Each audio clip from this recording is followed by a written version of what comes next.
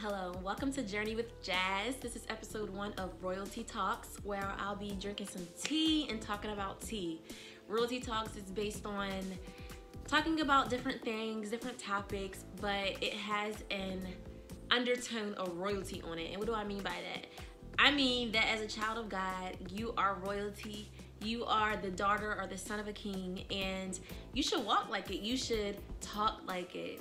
What you talk about should be different than what the latest Wendy Williams show is talking about. What you talk about should be different than people who gossip and are talking about other people and are speaking negatively. Your talk and your walk should be different if you're royalty. So that is what royalty talks will be about. Let's get it poppin'. Topic for today is a cookie and a call-in. So I have a little story and this happened a few weeks ago at the beginning of this year, my church here in Norfolk, Virginia, we did a fast and myself and some of my friends did a fast as well. Let me tell y'all something. I'm the worst person to do a fast with. I mean, can I be real with y'all? I struggle. I really struggle. Like if I say, okay, I'm gonna do a fast for this from this day to this day it's like right here somewhere i start changing the rules i start adding a little bit changing a little bit it's really difficult for me to just stick with it i've done it before in the past yes but I don't know, it's like a psychological thing. Like, right once you get started and once you start giving up stuff, it starts looking even better. And if I give up red meat, the next day somebody's gonna offer me a steak. You know, it's just difficult. So, if you do a fast with me, have somebody else be there for accountability because we'll start the fast doing one thing and then by the last day it'll be something completely different. So, yes. But fast are very significant and I know it's a word that gets thrown around in church culture and not even just church, but people who want to do better. They want to sacrifice certain things. They want to diet. They want to give up certain things just to allow themselves to be open to other things that are better for them.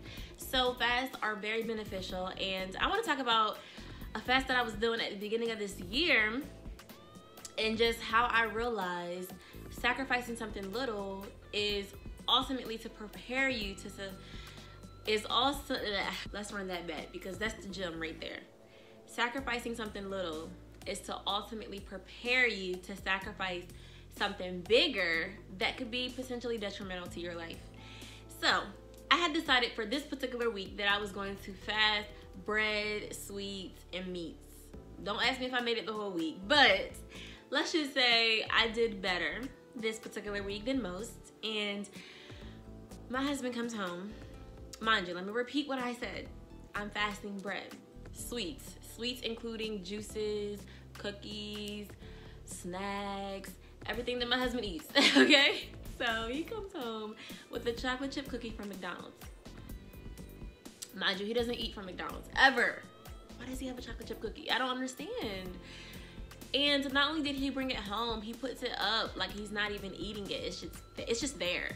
I asked him about it. He doesn't even want it. I mean, it's just available calling my name actually because I love McDonald's chocolate chip cookies, okay?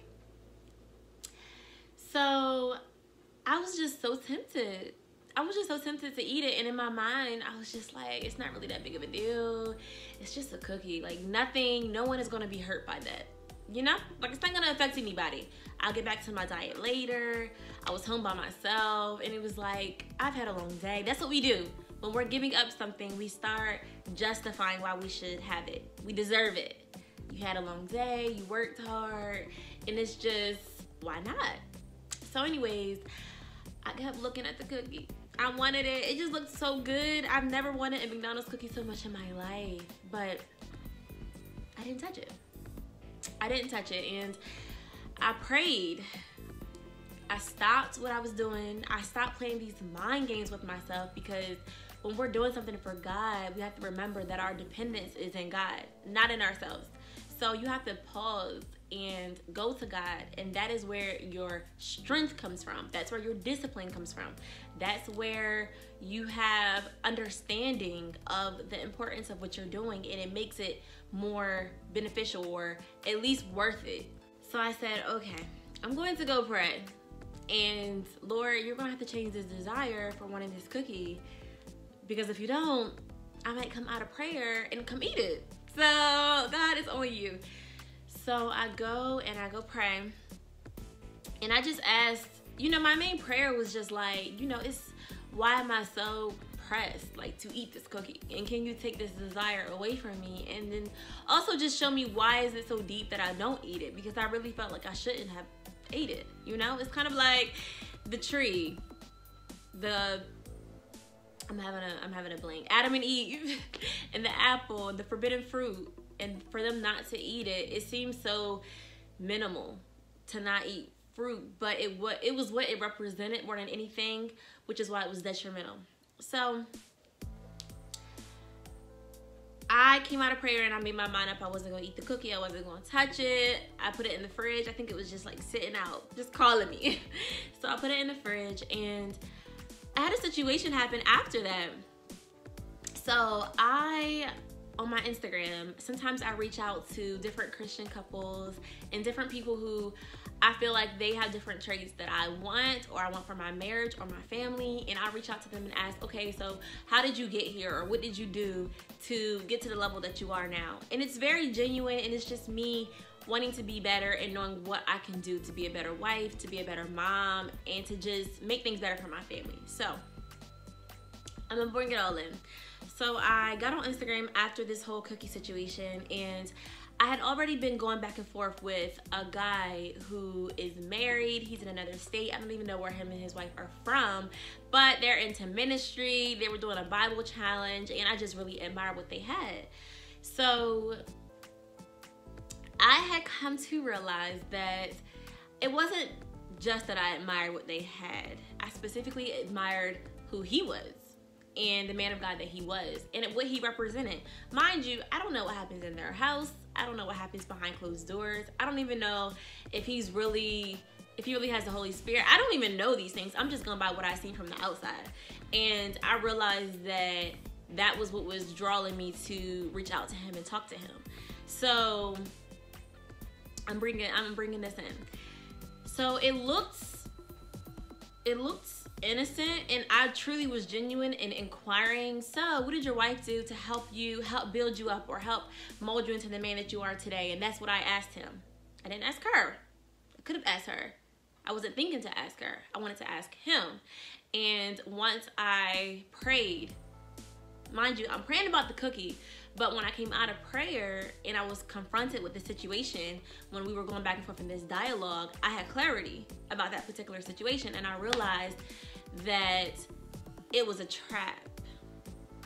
And some of you may say, what is she talking about? A trap. So we have to realize that as believers, the enemy sets traps for us based on our weaknesses, based on our desires, based on our failures in the past, ways that we've chosen sin or what we wanted at that time over God in the past. He uses those things based on what he knows about us and sets traps. So in that particular situation, I, yes, I was seeking advice, but at the same time, I almost was envying what this particular couple had. And this man that, this married man, it was almost like, I want what you have for my husband. Even though I don't even know what you have is authentic. Even though it's not my job to take what somebody else has and bring it to my man. Like, that's not even my role. You know, God deals with us individually in his own way. And so, even though it's it's deception is interesting because on the outside it looks beautiful but once you pray god will show you areas in your heart that are being deceived. The bible says that the heart can be deceitful. So that's why it's dangerous for us to just be moving and going and making these decisions on our own because there are certain things that we cannot see. And that's why it is important for us to getting to the practice of sacrificing things.